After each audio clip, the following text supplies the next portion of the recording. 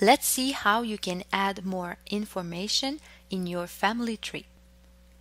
Let's choose the person you want, for instance, Simeon Robitaille, and click on his name. In the window, click on Profile. To change the information on the selected person, click the Edit button at the left of the screen. A new page appears where you can add, for instance, occupation or additional information about the christening. You can also add comments, for instance, he was tall. Once you have made all your changes, click on Save. Double check the information that has been added or changed.